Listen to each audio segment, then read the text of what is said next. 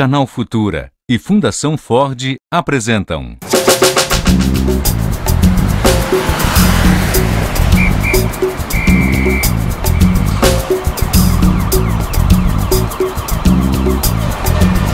Necessário, por favor. Essa é Cláudia Otília. Ela tem 29 anos, é carioca da Tijuca e formada em Direito.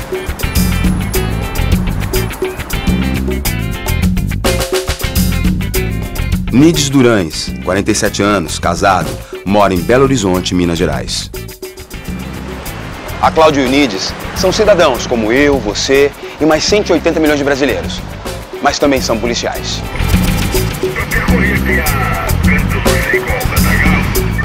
Cláudia é inspetora da Polícia Civil e Nides é cabo da Polícia Militar. Os dois fazem parte de um contingente de aproximadamente 500 mil policiais distribuídos por todo o Brasil. Qual a diferença entre um policial civil e um policial militar? Qual o espaço que eles ocupam no chamado Sistema de Justiça Criminal? O programa de hoje da série Segurança Pública vai mostrar quem é o policial brasileiro.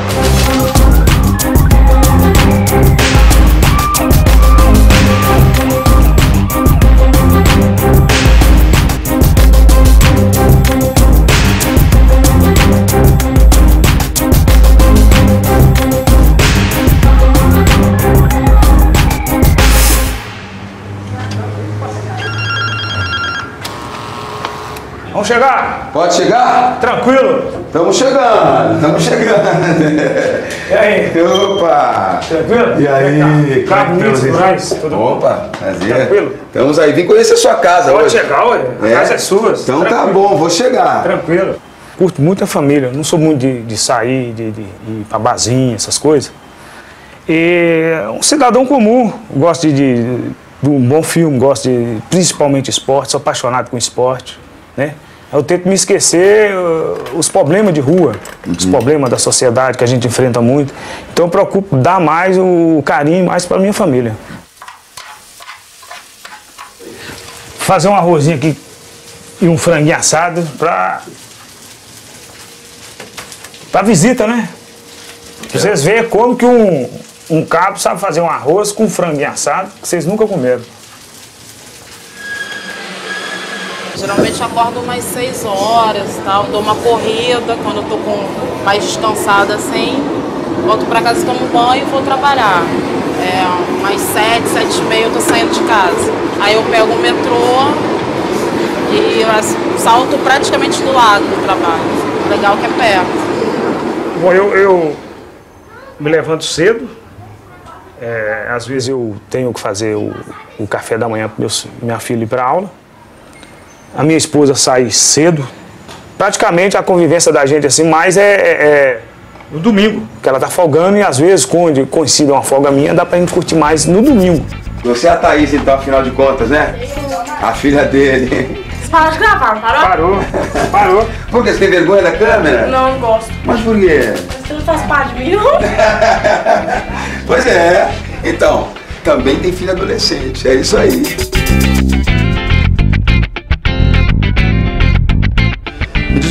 Cláudia. Como é que você entrou pra polícia? Eu estava me formando, eu fiz faculdade de Direito. O ano que eu estava me formando, abri um concurso para a Polícia Civil. E a época eu fazia estágio num- numa autarquia e a minha chefe, na verdade, pediu para auxiliar o sobrinho dela a estudar para o concurso. A gente começou a estudar, aí eu me inscrevi no concurso, meio que por incentivo dela também. Aí quando eu me dei conta, eu tinha passado na polícia, né? Cláudia, como é que é ser mulher policial? A instituição policial é uma instituição muito machista, né? Então você tem que meio que se portar como se fosse um homem. Então eu sempre procurei ir pra rua, fazer todas as coisas que qualquer policial faz, entendeu? Ah, então você Até mesmo pra operações? foi, é, foi. No início eu ia direto pra rua, assim. Até mesmo para eu conseguir que as pessoas me respeitassem como profissional, entendeu? Então você tem que meio que botar a cara a tapa para as pessoas te reconhecerem como profissional, como qualquer um deles. É, você sabe? não tem cara de É, policial, então, é de gozação. É, às vezes eu já, já aconteceu isso de eu me apresentar e tipo, a pessoa fica olhando assim. Ah, sabe? conta outra, Ah, vai. por ah. favor, né? Olha, isso mais é de família, né? O meu irmão mais velho entrou, o outro irmão, o terceiro irmão também é policial. Então, quando eu terminei o segundo grau, eu falava, vou entrar para a polícia. E o senhor, como cabo na, da Polícia Militar, qual é a sua função? O que, que o senhor acaba fazendo no seu dia a dia? Bom, eu, a minha função é comandante de guarnição. Eu trabalho rádio patrulhamento na rua, atendendo a, a comunidade, entendeu?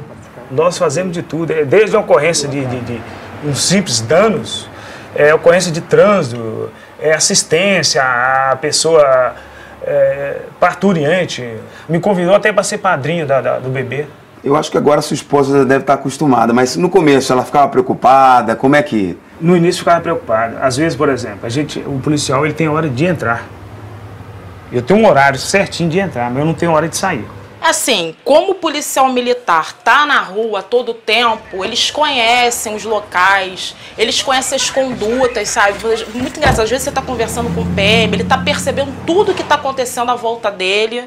O cara que tá sempre na rua, que tá sempre na ponta, ele consegue isso com muito mais facilidade que a gente, porque na verdade a gente é uma polícia mais investigativa, mais de estar tá nos bastidores, aguardando para atuar já. Entendeu? Então por isso que eu acho que é tão importante essa relação próxima de polícia civil e polícia militar, entendeu? Uma não tem como existir sem a outra. Polícia Civil cuida de uma parte da atividade de polícia, aquela parte conhecida como polícia judiciária, é ela que ah, faz todo o trabalho de investigação e, instrui um processo criminal. No que diz respeito à polícia militar, é, ela não, ela não tem a, a, missão de polícia judiciária. Ela tem o, o papel de fazer um policiamento ostensivo, policiamento preventivo de rua. Ela cuida de é, patrulhar determinadas regiões, é, administrar conflitos, que muitas vezes necessita apenas da figura de uma autoridade e nesses casos a polícia militar acaba cumprindo esse papel.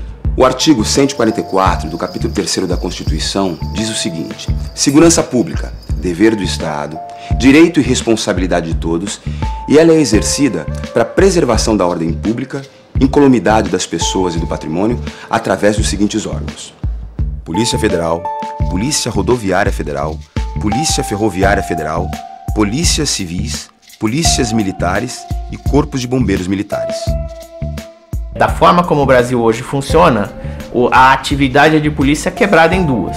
Uma investiga, a outra patrulha, faz prevenção. Muitas vezes você não sabe exatamente aonde para a prevenção e aonde, aonde termina uma investigação. E nessa é, dificuldade de, de identificação de limites, de divisas, também é, é, reside uma das razões das rixas e dos, das disputas.